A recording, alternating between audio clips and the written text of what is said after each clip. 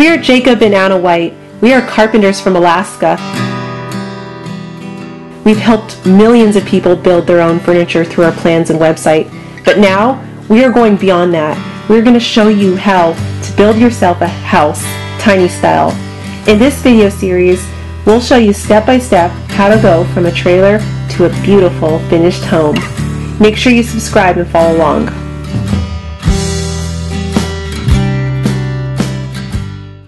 Hey guys, thanks for watching the video last week on roof framing.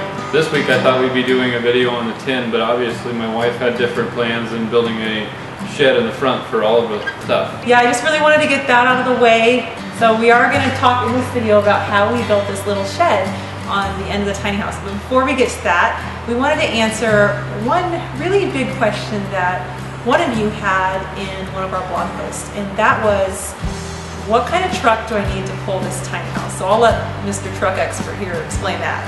The tiny house itself is going to weigh between 8,000 and 12,000 is kind of what we're rough estimating. She has an F-150 Ford with a 3.5 in it. I'm pretty sure that thing would tow it down the road just fine. Now, if you're towing this a lot, you're definitely going to want to go into the market of a three-quarter ton pickup. Ford, Chevy, Dodge, they'll all be fine. We're going to frame up and finish out a little shed area on the front of this tiny house. When I first came to Jacob and said, I really think we should add some exterior storage onto the tiny house, he was like, man, I don't want this tiny house to be any bigger than it has to be. So what we came up with was the idea of to put a little bit of space, a shed area. It wasn't so little. It maximizes where you can put stuff. So like generator, Yeah. fishing poles, tools, um, if you ever wanted a battery bank. Yeah, I mean, it, it, it's it's endless of things you can store in there, but it's also like exterior storage, like kind of like a garage attached to your house without the garage. I like it. a garage on your tiny house. The design is really simple. It's just some frames that we build up, screw to the studs in the wall for structure, throw some shelving on it, put plywood sides on it, then add a frame for the door to the front, which also adds some structure to the front, then put some doors inside. You'll get the same roof treatment as the rest of the tiny house. So it's pretty simple. This one was really easy to frame. We just made up these five different sections, which are basically like little mini walls. And I made five of them so that they could tie into the five studs on that back wall. You could have probably got away with three. I just tend to do things overkill. And, three would have saved you some weight. Definitely screw these together and, and glue them together. So I plywooded the two ends. We really regretted doing that later because I couldn't fit the shelving in. so we had to cut, you know, the shelf. It was a bad idea. So definitely leave the plywood off. Take your five frames, put a cleat up at the base of where the frames go, and then you just set those frames up on the cleat. Screw them directly into a stud in the wall, and then you'll want to put your shelving in, and then plywood the ends. And then from there, what you're going to do is add a 2x6 along the top to tie the frames in along the top, and then a 2x4 along the bottom to tie the frames in along the bottom. And then for the door area, what we'll do is we'll add some vertical 2x to kind of separate out the door areas and give us something to attach our hinges to. So on the uh, top of the shed, just basically plywooded it and that uh, just nailed it down with some two and three eighths ring shank nails, and then it'll be ready for roofing. For the doors, I really wanted a wood look to bring some of that wood element in the siding. So what we did was we decided to use leftover tongue groove that you'll see us use in the interior of the tiny house.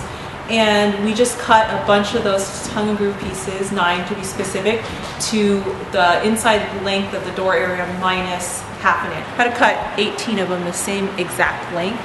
So what I did here is I've got a stand on my miter saw and I set it and just come down and butt this up.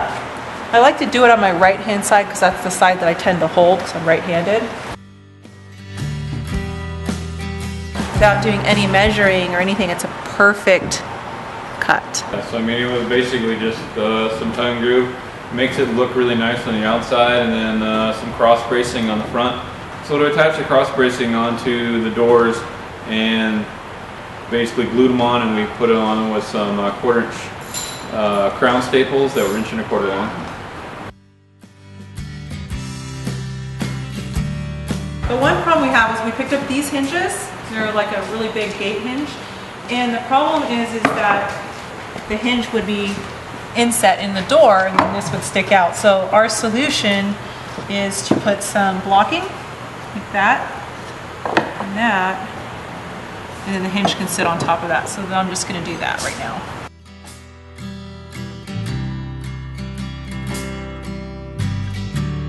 Jacob had a really good idea. He's like, let's just go ahead and put the hinges on the door while it's on the sawhorse. It's a lot easier.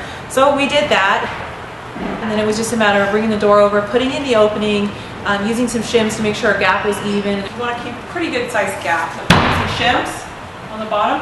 We already attached the hinges, so it's just a matter of screwing it on. It was really fast and easy to put those hinges on. All along I was really worried like is this thing going to be strong enough because we basically just took a shed and screwed it to the back of the tiny house. I was actually really worried and I had a contingency plan to add some cross bracing underneath but after we built it we jumped on it a couple times to make sure it was sturdy and it was and then at that point we started using it as built-in scaffolding to you know do the upper roof and hang the, put the windows in.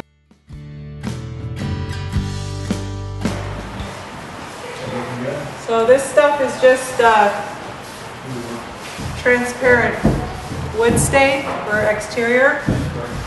It doesn't need a sealant or anything. You just reapply it every five years or so depending on how much sun it gets. I really like how it adds that rustic touch.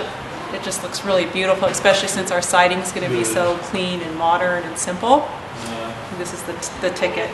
Remind me next time I do this, stain the doors when they're on the sawhorses, not hung, okay? I'm gonna add some little latches to the bottoms and tops of these to keep these doors shut.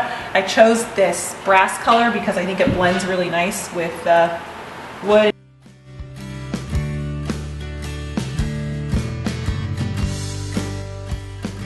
Then we want to use it, we can just open this up and pull it open.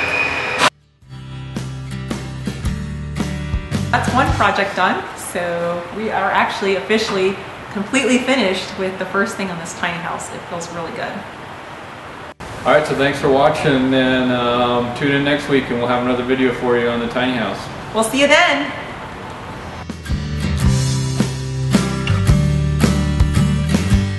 Oh, come on. No. Okay, so we got one. this thing is built like, it's, it's very strong. This thing is very strong.